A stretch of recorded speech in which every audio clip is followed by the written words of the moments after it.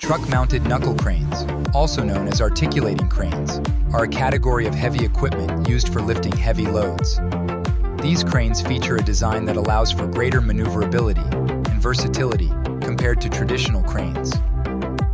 Knuckle boom cranes are lightweight and highly maneuverable, performing work at the boom tip with a wide range of motion.